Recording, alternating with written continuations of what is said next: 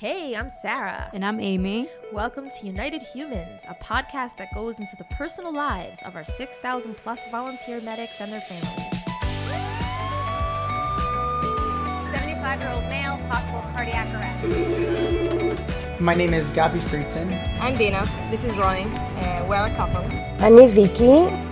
United Hatzalah's only mission is saving lives, and we'll discuss how that doesn't leave room for discrimination against color, race, religion, or sexual orientation. Let's talk about fear, trauma, pain, and connection.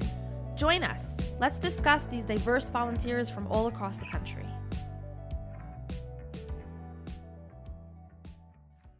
Welcome back to United Humans, a podcast where we go into the personal lives of our 6,200 medics at United Hatzalah. We've really had an incredible um, medics show up, and I'm so blown away by people's stories and just the incredible emotion that has come through this podcast so far in the last few months. Um, I think, though, that perhaps this might be the most difficult one yet, although it hasn't been recorded yet. I can only imagine that this is going to be a difficult episode. Um, coming up is the first year Azkara, yahrzeit of the horrible Meron tragedy. Sitting with me right now is Avi Marcus, the head of department of everything medical in United Hatzalah, as well as the head of the psychotrauma unit, and Kalanit Taub, who was is a medic and was at the Meron um, tragedy as well. And these two guests, thank, first of all, thank you both so much for taking the time out to come and sit with me today. And um, I really just, before we even start, like, our listeners want to know who you are. Let's give some context. So, Avi, can we start with you? Tell us a little about, about who you are, where you live. Okay, good uh, good afternoon. Avi Marcus, Deputy uh, Director of Medical Division uh, and the head of the psychotrauma unit. I'm a paramedic for the last 20 years. Live in Petah Tikva, married to Mirav, have five kids.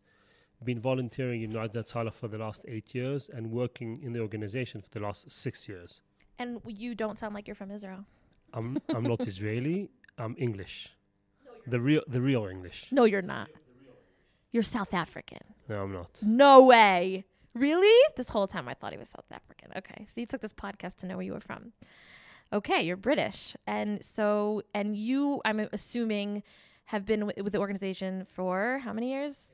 Eight years. Okay, I was going to say 10. And Kalanit, where are you from? I'm originally from Cleveland, Ohio. I live now in Efrat with my husband and three kids.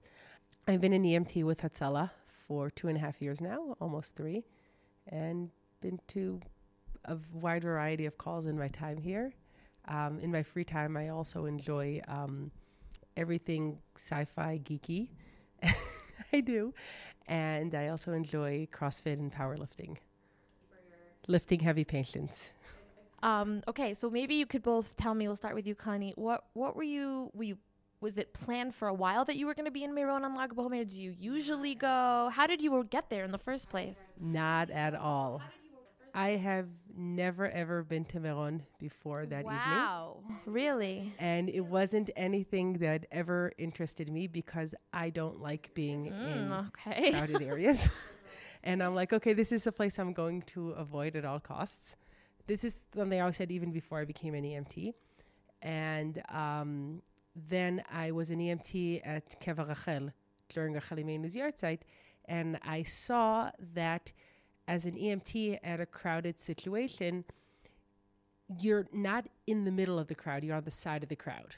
So I'm like, okay, Meron is something I can also do. I can be on the side of the crowd and not in the middle of the crowd. And I'm like, okay, this is an opportunity for me to see what's going on in Meron because everybody's always talking about it.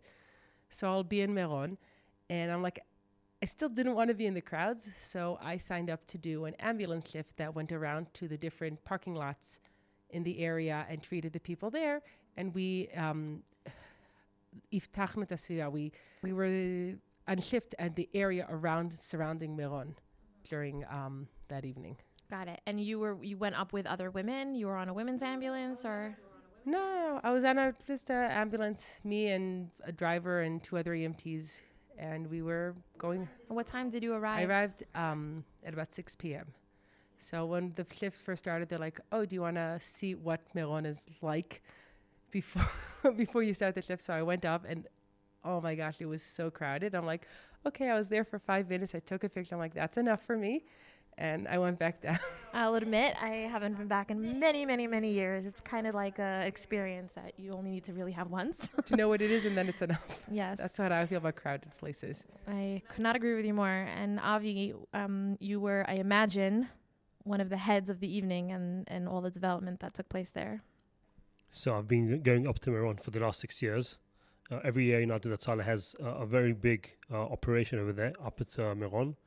We usually start uh, a week before, uh, organizing all of our equipment, places, tents, and so on and so forth. So when all the people come up to to Meron the Lag BaOmer, we have all the facilities of the, the, the emergency up on the on the on the premises. So I'm up there every year, and every year we say it's a big nest, okay, that no one died or no one was crushed up in Meron. And sadly, last year uh, it happened. So I went up there on the Thursday morning, okay, to organize the stuff, to organize all the tents, to organize all the facilities. So when people come up, everything will be okay.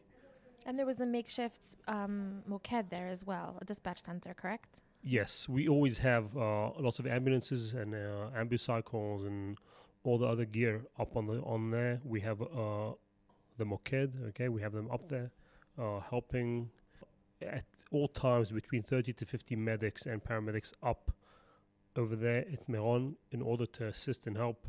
Every year we treat between 200 to 300 people in the 24 to 30 hours of uh, this whole uh, celebration of Rabbi Shimon Bar Yochai Lag BaOmer.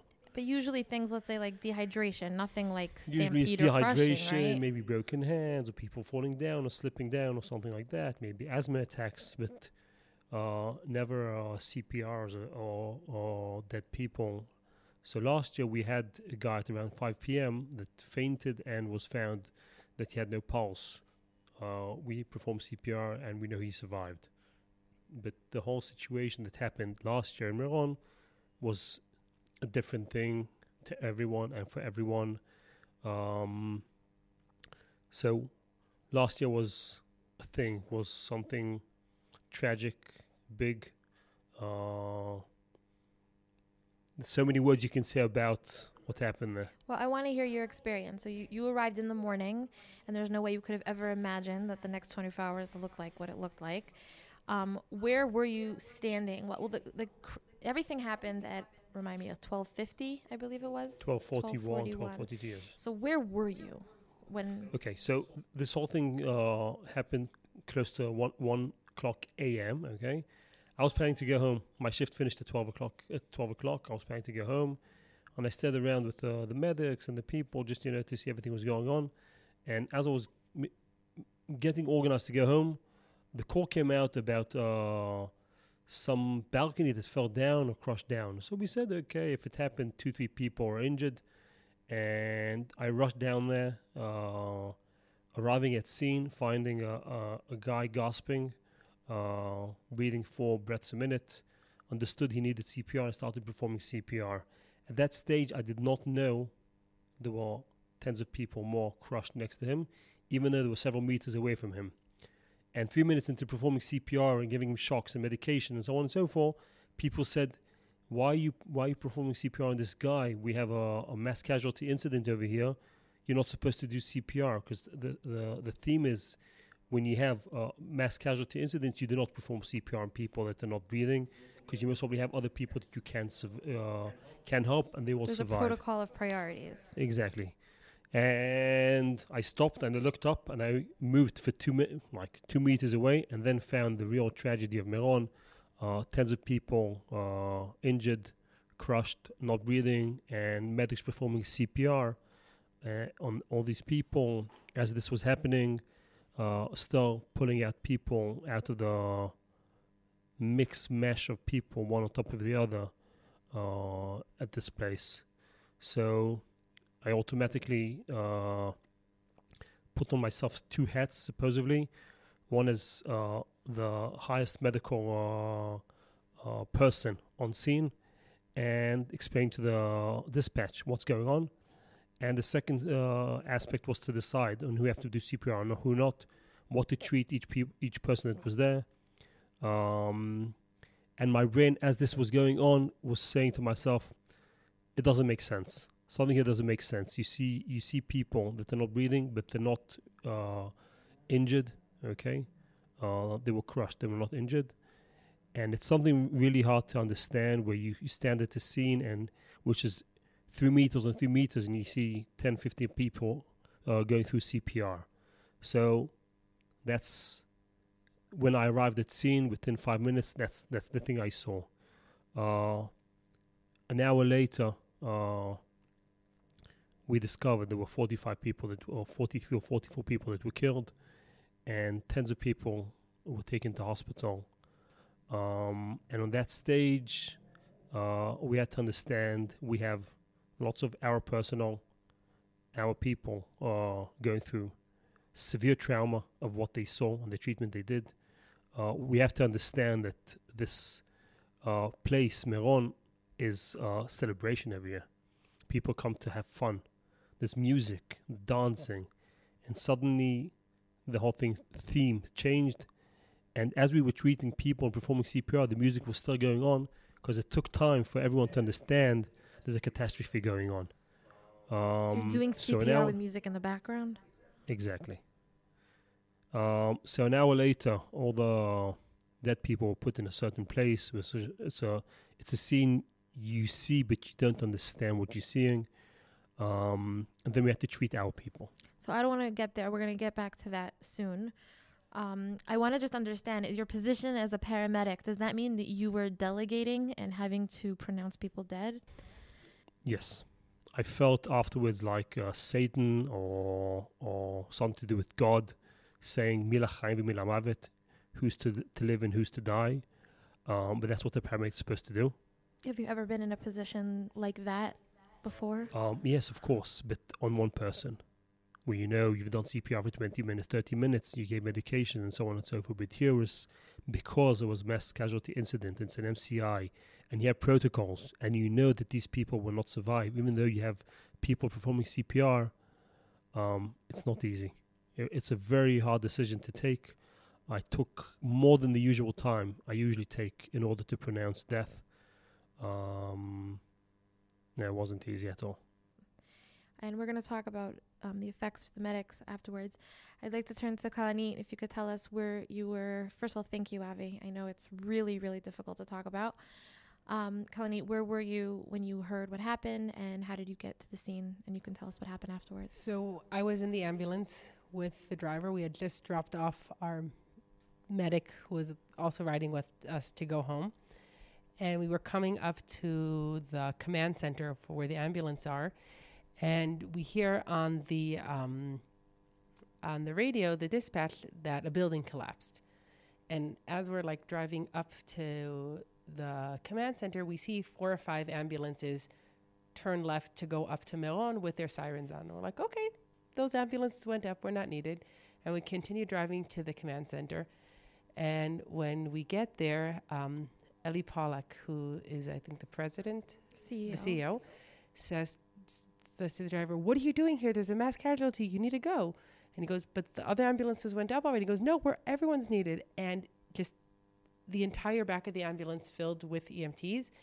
And we drove up the hill tour, towards um, towards where the grave is for Rabbi Shimon Bar Yochai.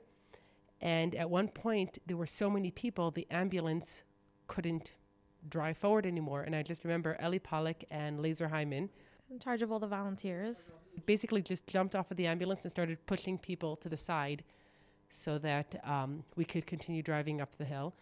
We got to the top of the hill, and I still remember the driver says to me, like wh- uh, one phrase, he goes, Find me someone injured and bring them back to the ambulance. And I'm like, okay, that doesn't seem like a very hard thing to do. Find someone injured and bring to the ambulance. And as we'd been driving up the hill, we hear that there's one CPR ongoing, and we hear then, then we hear two CPRs ongoing, and then five CPRs ongoing. We're like, seriously, five CPRs? Aren't they a bit exaggerating? But we were sent to the scene, so we went to the scene. When we got to the top of the hill, we took out the backboard and the straps and the ba- medical bag, and four of us grabbed the backboard and we start running down the hill. Now, the whole place is extremely crowded, but we had no difficulty knowing where to go because people were just like moving to the side and yelling us that way, that way, that way. And we just run down the hill. And as we're running down the hill, I see one stretcher coming up the hill performing CPR on it, and another stretcher coming up the hill and they're performing CPR on the person, and another stretcher. And I'm like, wait a second, we've already had five stretchers pass us coming up the hill, and they said there are five ongoing CPRs, and we're not even at the, The scene, yet. yet. And um, when we get to like the bottom of the hill, and one thing I remember that still sticks with me to this day, there was this one Haredi guy who was standing in the middle of the pathway. And like when I first saw him, I'm like, there's a mass casualty incident, get out of the way.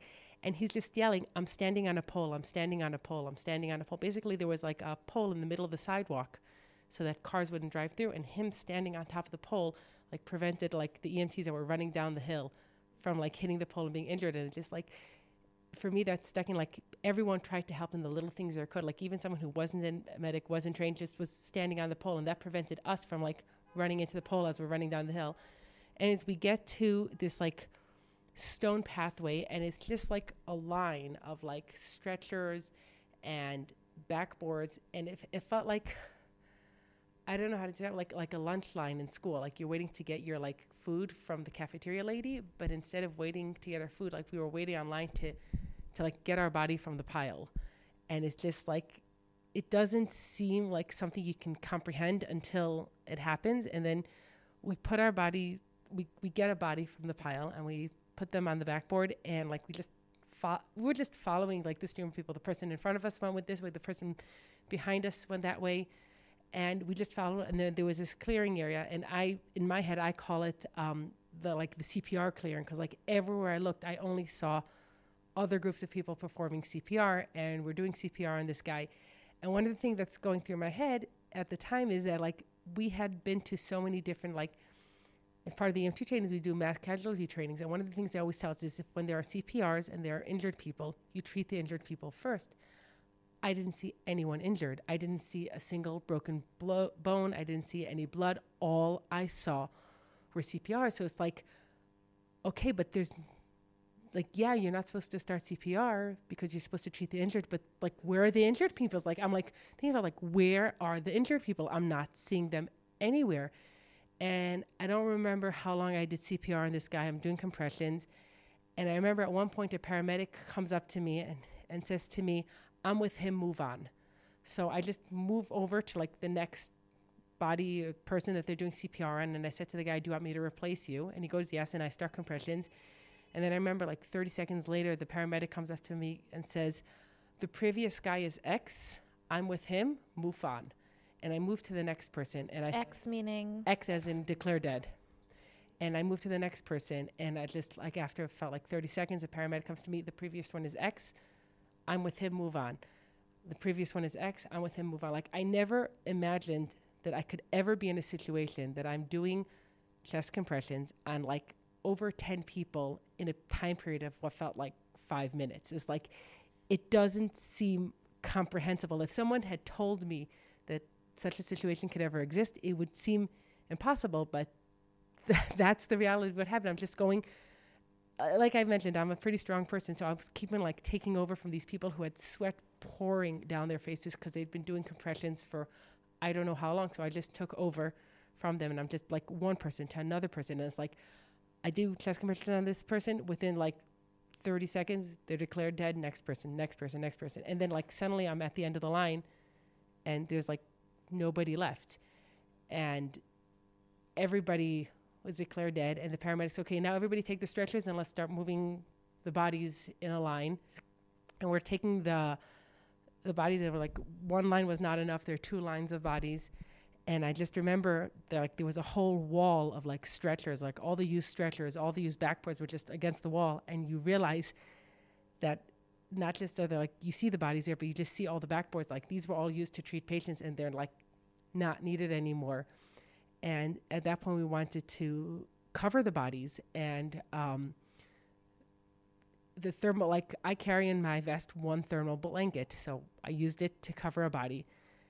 And like everybody started asking everyone, Do you have a thermal blanket? Do you have a thermal blanket? Like, and there weren't enough to cover the bodies. And there were just so many. I remember I walked up the hill at that point to the logistics center and I took a, a large package of thermal blankets and I came back down the hill, and within like seconds, they're like people just grabbed them out of my hand. And like I had nothing left in my hand. And then later on someone from the logistics center do you have any thermal blankets to return to me? I'm like nope I don't have any. They were all like used. It was just it was just like I've never like had a pile of equipment like so quickly just everything grabbed out of my hand and used within seconds. And it's just like it's just like so many I can't even my brain, right? It's It hard to wrap your you head around right? it. You cannot, and I still can't. It's a year later. I still can't wrap my head around it. Uh, just for some context, I'm trying to get some numbers here. I don't know how much statistics or data we have, but um, do we know how many people were in Meron at the time of the incident? You know, in tens, Tens of of thousands. thousands. Even And how in many medics from United? I can't say for other organizations, but for United Hatzalah, We had uh, we we checked and we had around 150 uh, medical personnel of United Hatzalah at scene because it was just as the we were changing changing of the guards, and also people that were there came with their families, not as medics specifically for for Meron. They come with their families to go up to celebrate, and so we had about 150 people and around 50 people from logistics. So it's 200 people of United Hatzalah up at the the same time. and how from beginning of of it's declared as an MCI until everyone just stopped because there was nothing left to do. What was that time period?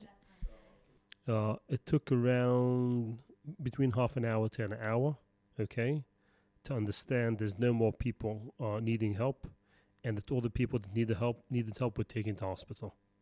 I think it was between 30 minutes to 45 minutes So who were those people? You mentioned that before. These people that were uh, injured, not in the regular sense injured, but what were their issues that they needed to go to the hospital if they weren't declared dead right away?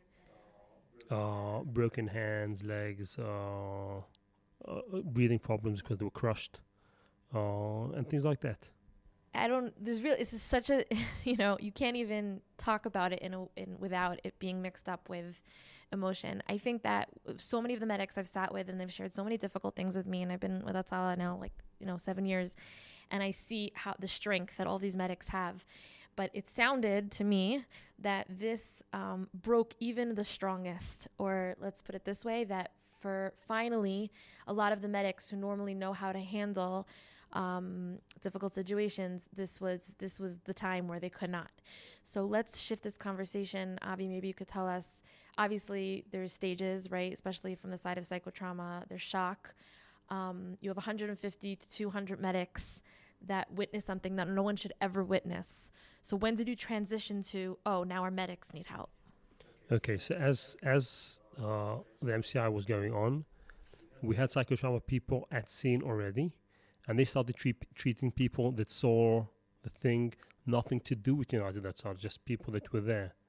Um, and when we understood our people needed help, uh, uh, as we now as as this thing uh, finished, like quarter quarter to two a.m., we we gathered all our people from all around to one place uh, where we had our headquarters, and we had everyone over there. And uh, Eli Polak, okay, uh, stood and spoke, and Dovi Meisel stood and spoke, and said, "We're going through a horrific situation now.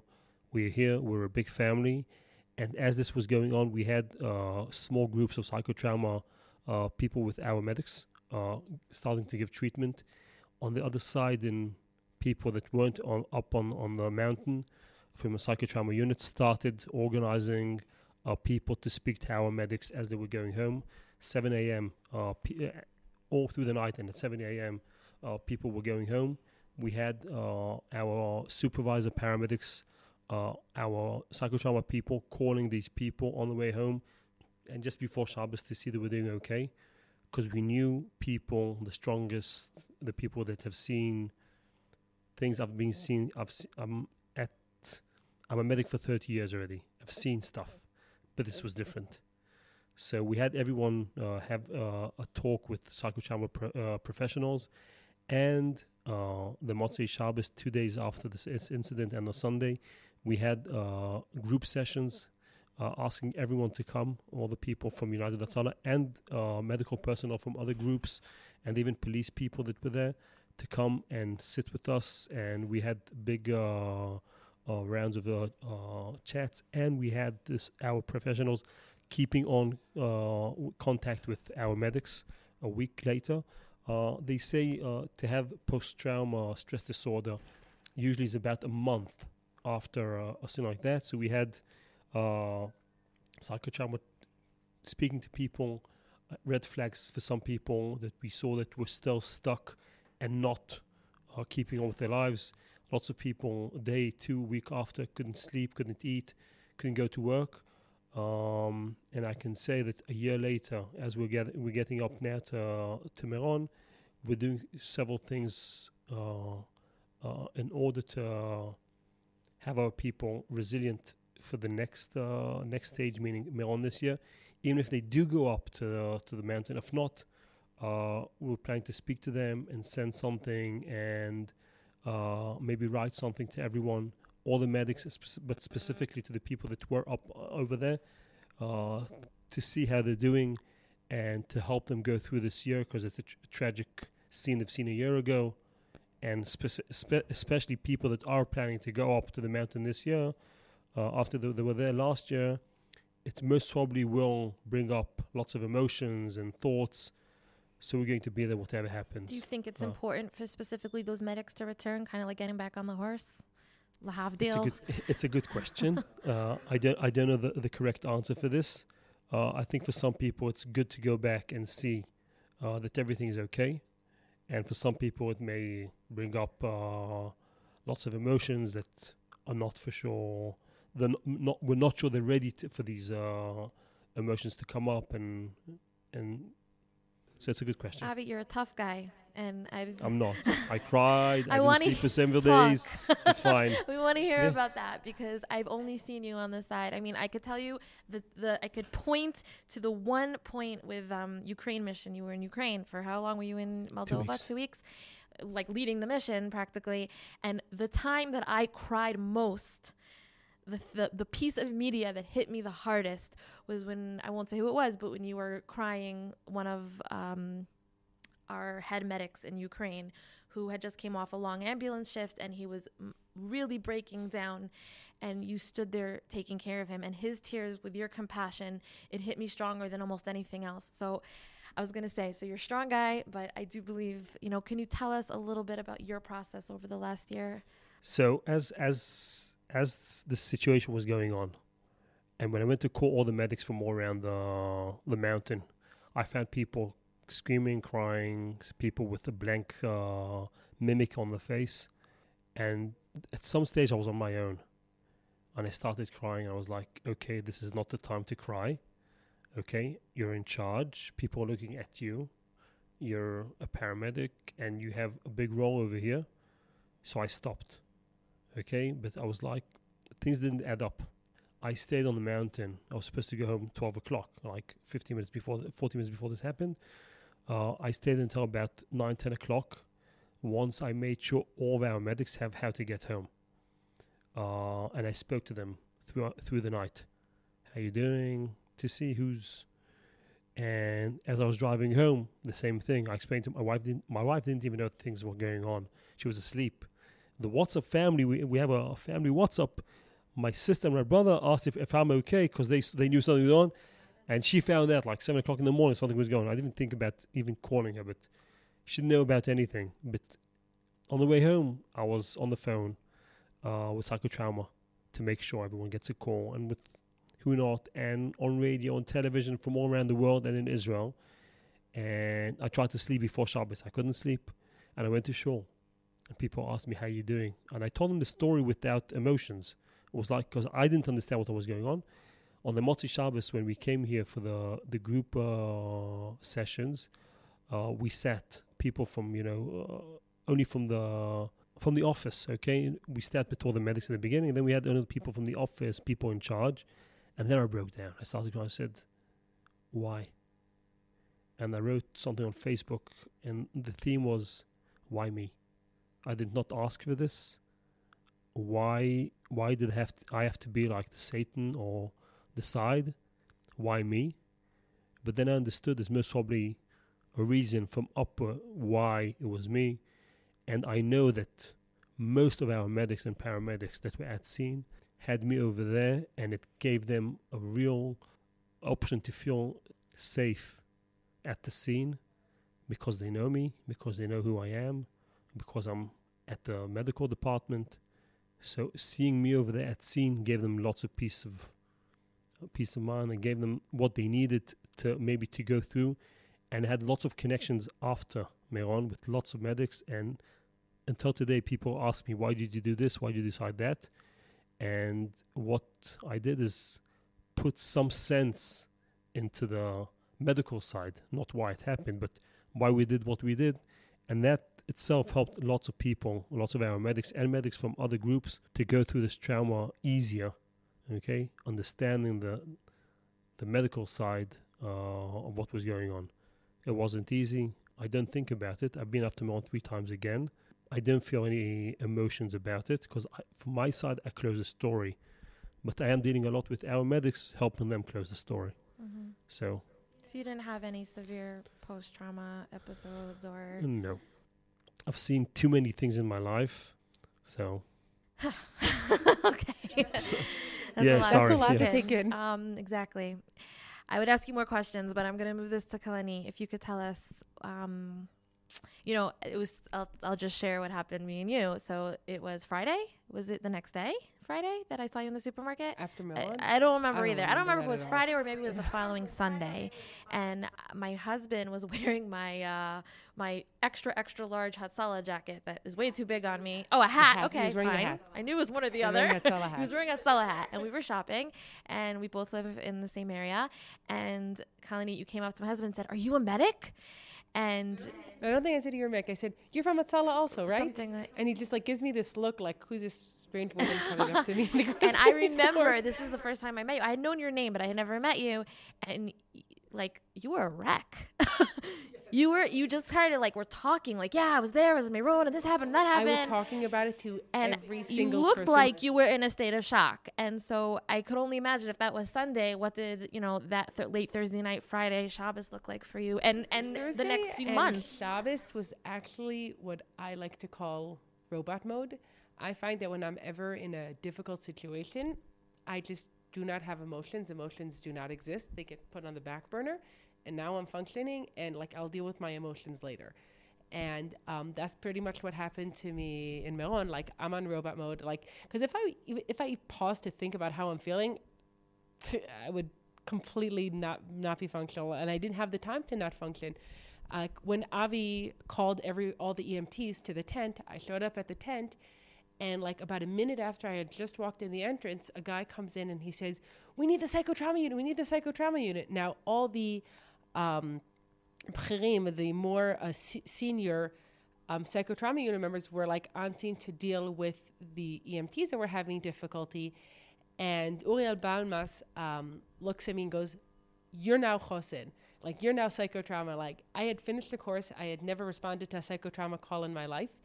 And I like to call it uh, my trial by fire because I went from having responded to zero psychotrauma calls in my life. I'd gone through scenarios and practiced it, but I'd never actually treated someone on the scene to treating over a hundred people. Like for the next four hours, maybe even more, I just walked around the um, the scene of Meron, and I just literally walked up to every person I saw. I say, "Hi, my name's Kalanit. I'm an EMT with United Hatzalah. Can I? Do you need help with anything?"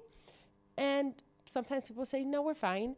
And then I'd go up to the next person, ask them the same thing, and they would just be like this blank stare on their face, and they're completely unresponsive. So I said, um, I said, is there anything I can help you with? And like, I would try asking them a different qu- couple questions, and they were frozen in place. They were completely catatonic. And what I did is I did something we learned in the course. I, I walked up to them and I said, I held their hand and I said, I'm with you right now. I'm here with you. I'm gonna like count to three and squeeze your hand. And when you're ready, you're gonna squeeze my hand back. And I went through that with them. And one of the things that made Meron so difficult is one of the things we're taught in the as part of the psychotrauma unit is give the patient something to do. Like if I'm at a CPR and the, a woman's husband had just passed away, I'll ask her, "Can you get me your husband's Teudat Zehut?" That gives the patient something to do. In Meron, it was very difficult to give the patient something to do because here you have a woman who's hysterical and she's extremely worried about her husband. She can't go looking for him. The place is a complete and total mess. She I can't even tell her to try calling her husband because the phone lines were down, or checking her Facebook or her husband's Facebook. Maybe her husband posted and declared, nope, the internet wasn't working. Maybe she should start heading home. Nope, there were no buses to leaving at the time. Like, to give them something concrete to do, there was almost like nothing to give them to do. So what I ended up doing is I told them like like I had started by holding their hand and squeezing their hand. I'm like, I want you to try squeezing your own hand. And every time you feel panic, start to panic, just calmly count to three and squeeze your own hand. And like that was the only thing mo- in most of the situations that I could give them to do because all the other normal things I'd give someone to do in a psychotrauma situation were not an option. And um, I just was walking around for hours. And I, one of the things I remember quite clearly as I walked into his tent, and it was one of the um, clinics. It was like, it was the women's clinic at Meron. And there were like three beds there, and each bed had like four women sitting on it and a couple women in chairs, all completely hysterical. And I just went from one woman to another woman, like 15 women in a row, like one after another after another, helping to calm them down. Like normally when you're treating it like you're with other people helping you, and I was just by myself there, and just went through all the women in the in the tent one at a time. And one of the things I remember is like at about 6 a.m., one of those women came up to me and goes, "Thank you so much. You helped me so much." Like because I was so like I didn't know what to do and I said, I'm sorry, I don't remember you. Because like I had, I had by that point treated so, so many people. And she goes, I was one of the women in the tent. I'm like, oh, okay. Because there were a lot of women in the tent. And the other psychotrauma call that I remember so much is at the entrance to Meron, there's this flat traffic circle and all the buses were driving across. And there was this one guy, as he's crossing the traffic circle, he just couldn't take it anymore and he just lay down on the ground in fetal position. Like he just was too overwhelmed by everything he saw. Now all the buses are blocked because he's lying in the middle of the street. So I sat down next to him and I held his hand. I said, I'm here with you. Do you want to go on the side to talk? And like the entire time the police officer like, get him out of the street, get him out of the street. I'm like, wait a second. Give me two minutes to work with this guy. So I sat with him and I talked with him, and in the end, he agreed to get up. Like that was something I had something to do. Like, can you help me by sitting up on a bench and we can sit and talk? And we moved to the bench and we sat in the talk. And it, but just people talk about Merona. There was a mass casualty incident from a CPR and a medical treating injuries point of view, and that's true, and I 100% agree with that. But I think people forget that it was also a mass casualty incident from a psychotrauma perspective because there were so many people in shock. Women who saw a stretcher passing by performing CPR, someone, a kid who couldn't find his father, a mother who couldn't find their daughter, anyone who couldn't find a family member or a friend. Just everywhere you went, you just saw one person after another person after another person. What's really interesting is that when I asked Avi and when I asked you, you both dodged the question. you Which go question? around because it's. I said, how did you deal with it? And you're wh- everything you just I said, dealt with it right? by By functioning. But what's so interesting to me is that it's like the psyche of a medic. Right away, it goes But into it, no, it's not just the psyche of a medic. Remember, I said one of the things you do to action. help someone is give them something to do. So how did I deal with it? By doing. What about If I- if weeks I were and to sit down- and a year later? So, okay, so that, that is obvious. That I dealt with it in other ways, but like at the time, you're in the middle of, you just saw something horrific, which will hopefully be the most horrific thing I'll see in my life, and I'll never ever see something like that again. But the, the way you deal with it is by doing, because you either have the choice of breaking down and being in complete hysteria because what you just saw was just that horrific beyond anything you could have ever imagined in your life, or helping other people and like channeling that emotion into like helping others or, or, or talking with them. did psychotrauma um, call you at some point, and you oh, got yes. the help that you needed? a number of times because I had a, I had a lot of difficulty afterwards. I um, one of the things that my fellow EMTs where I lived did that was extremely helpful, is they arranged like everything, all the food for Shabbos. Like I'm like, okay, I'm supposed to finish my shift around 1 a.m. or maybe even about 4 a.m. I'll get home at about 3 or 4 o'clock on Friday afternoon. I'll cook for Shabbos quickly. Nope, they made everything for me. And uh, one person said, Do you have any requests? I'm like, Could you make a cake? Because it's my daughter's ninth birthday. And she said, "Don't worry." And like, and I thought like she'd make me like a, I don't know, a brownies or something like that. She makes me like this cake in the shape of a nine with like Wow. marshmallow flowers on it. It was like awesome. And like my daughter, she totally didn't think about the fact that her mother was in like a complete state of shock on her birthday. Instead, she was thinking about, I got such an awesome birthday cake. Because like it didn't like translate to her like how I was dealing with everything. But one of the things, um, like in terms of how I dealt with it, is like for a while I was in what I call my like robot mode, and I was just functioning like. If you asked me how I felt at a certain point in time, my answer would be I don't have any emotional memories of that point in time. You told me it took months to even recall the faces of the people you did Yeah, so it- CPR on. yeah, that about a month plus. Um, but um, but about a week after Meron, um, I responded to a call to a woman who had fallen in the bathroom. It was my first call that I was responding to as an EMT afterwards. Uh, I think it was Wednesday, if I'm not mistaken, and um, and I get there and I functioned wonderfully as an EMT, like I always do. Like I said, I go into my robot mode. And when I left the house, I I just started crying, and like not not in the house, like when I got back to my car, and there was another EMT with me, and he's like, "Kalanit, wait a second, I'm gonna make some phone calls." I think about five or ten minutes later, I get a phone call for the head of my from the head of my division from where I live, and he goes like, "Kalanit, you have an appointment for a trauma therapist in an hour," and I don't think people understand how amazing and how much it shows that Hatzalah cares about its EMTs. Like, I'm having difficulty after a mass casualty, and they arranged for an appointment for me to see a trauma therapist I in can't an think hour. of one other organization that would do something that. I would hope other places do that, but it's, It's like it really unique. shows how unique and how special that they really go above and beyond to help out. The, definitely, definitely to help their EMTs, and the trauma therapist definitely helped me a lot. Um, I continued seeing a, I think it was a clinical social worker about two or three times a week for about a month Wow. afterwards because it was, it was extremely difficult to process. But like you said about the um, the remembering the faces, I couldn't remember the face of anyone I did Me CPR neither, with. by the way. People ask me if I did CPR on the family. you don't know. I have no vision of anyone. you can't match it to the picture. So, well, that's the interesting thing is like I couldn't remember the faces at all whatsoever, and I'm like I should remember the guy that I got from the pile, and I was doing CPR on him for like five plus minutes. And I'm like I can't remember his face. Anyways, about a month after um, the tragedy, Hatzalah had a gathering of all the EMTs at the scene, and one of the things they had, they had these big poster boards of the pictures of everybody there. And I just remember I kept looking at this one guy's Everybody picture that passed away, you mean? everyone that passed away. And I kept looking at those one guy's pictures, and I'm like, Kalanit, you're just playing tricks on your mind because his picture is the clearest picture there. It was a, it was a very very clear, like a lot of these pictures. By the, when they blew them up big, they were blurry. His picture was not blurry, and I'm like, that's why you're focusing on his face because it's blurry. But like his picture was like completely on the other side of the stage from where I was sitting.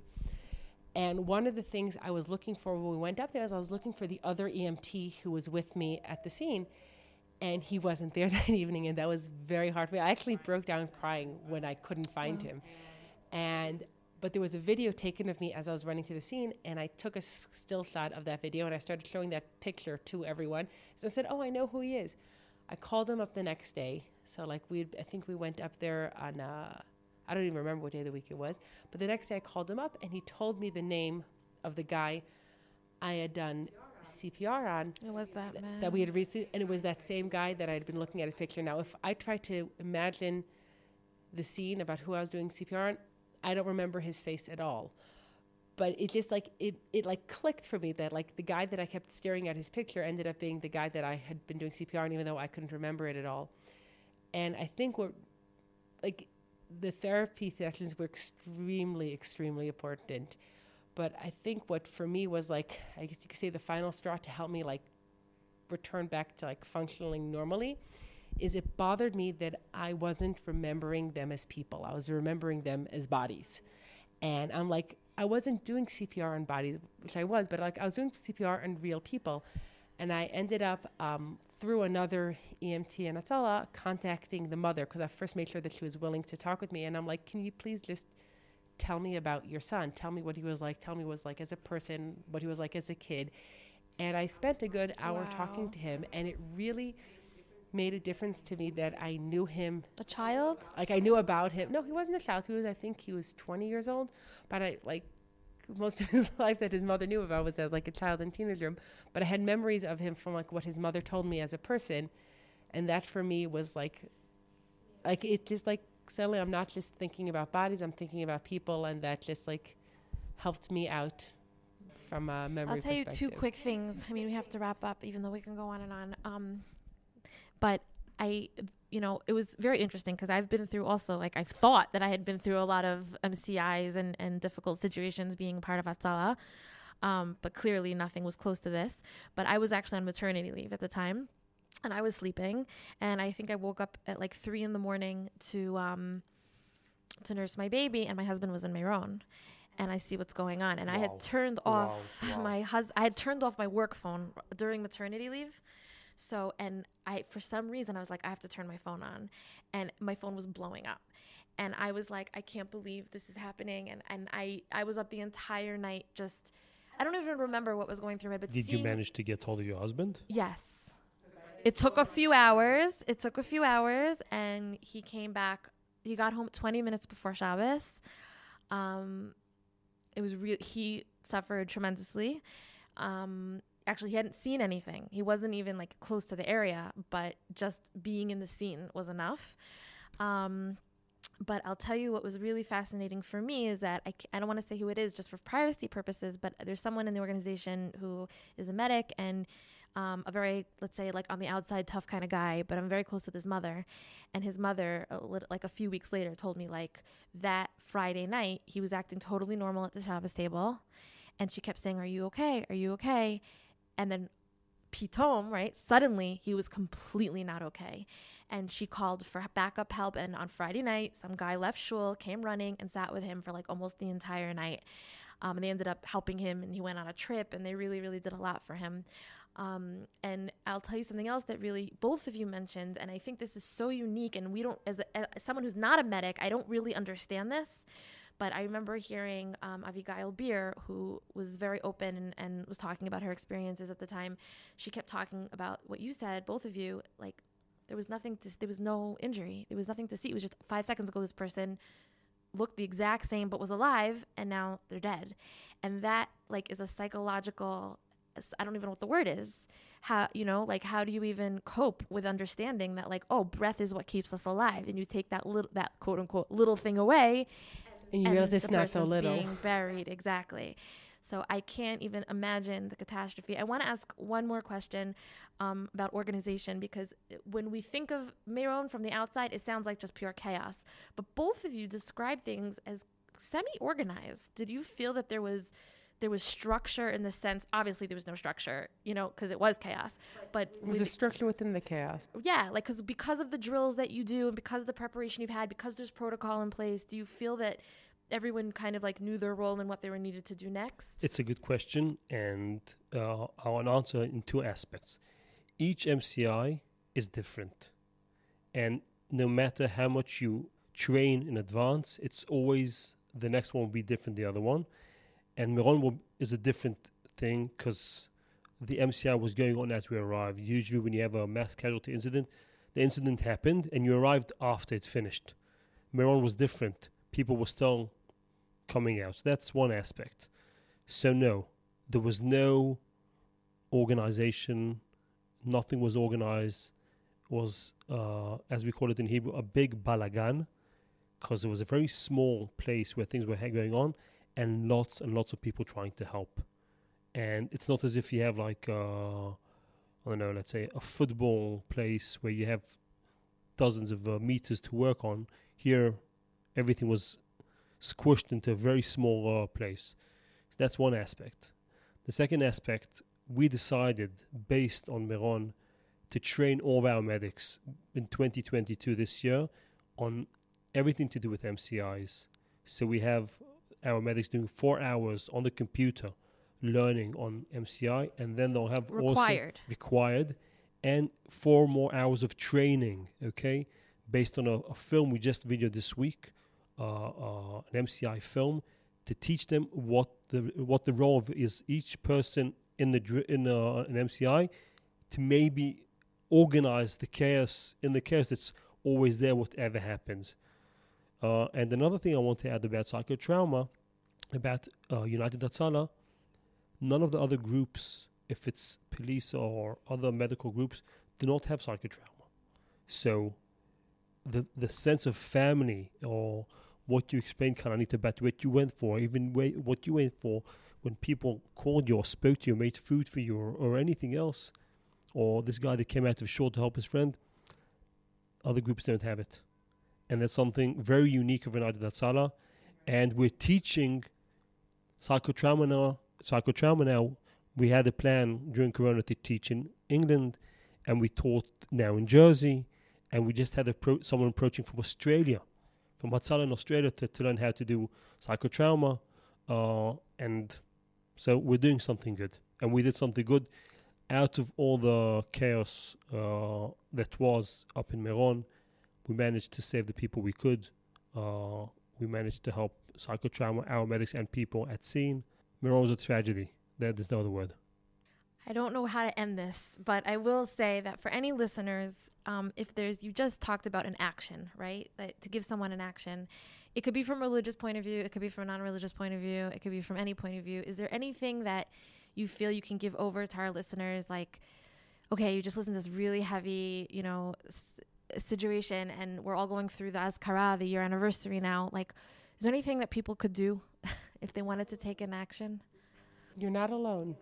Just remember, like, be with someone, like, hold their hand. Like, you're not alone. You're there to help them. For even just hearing something difficult, just remember that, like, within Hatzalah, within Jewish people, within humanity around the world, everybody tries to help each other. And just being there for another person and telling them you're not alone is a huge, huge thing that makes a big difference. Avi, any last parting words? Um, it's a good question. I do not. I do not know what to answer about this question. If you can do any preparations for from Meron or for people that are going up there, or people, even people that are not not out, not medical, people that were there, as you said, let's say your husband. I don't know if there's any preparation. I can tell you one of the things I did. You asked before. You said we went around and didn't answer the question. What I did when I went back a few months ago with a friend that that was, she's not from United Hatzalah. She's from a different medical group she hadn't been sleeping for six months, okay, because of hearing the screaming of the people and the kids and so on and so forth. And I took her up to Meron. I, I told her she has to come with me to Meron. And we went to where the, the thing this thing happened and I told her to say Tehillim for the people that were killed and she says, Okay. And then I told her to say she's sorry. And she asked why I did what I did. I said, you have to say sorry for all those neshamas that were, were taken away. And that's what helped her start sleeping at night when she felt she cleared her her her anything. Uh, She, she cleared everything out. So each one has a different story about Meron from the people that were there. If it's your husband or someone else, if it's medical, if it's psychotrauma, I think everyone should do some tikkun or help something or give tzedakah for the Leilui Nishmat. So you know you're doing something for all these people that did not survive, and since you did survive, okay, um, fulfill what they didn't fulfill. So maybe that's a, a, a good thing to do, to do a mitzvah on that day, Leilui Nishmat, and for those people that couldn't uh, keep on. It was a beautiful way to end. Thank you so much. I think A you- Hasidish answer. I'm surprised. not- I'm shocked, and, I'm, actually. and I'm not even Hasidish, so I'm actually shocked. No, I'm really not. I want to thank you both so much for coming and taking the time out to sit here with me. I know it's not easy and for sharing your stories with the world. yeah. And we should just only share joyous occasions and only good things. Bezrat Hashem, please God. And thank you both so much. Thank you. Shia Chag Thank you. Thank you so much for listening to the United Humans podcast. Share this with a friend, subscribe, and we already know you're going to leave us a positive review, so we'll just thank you now for that. Bye. Adios.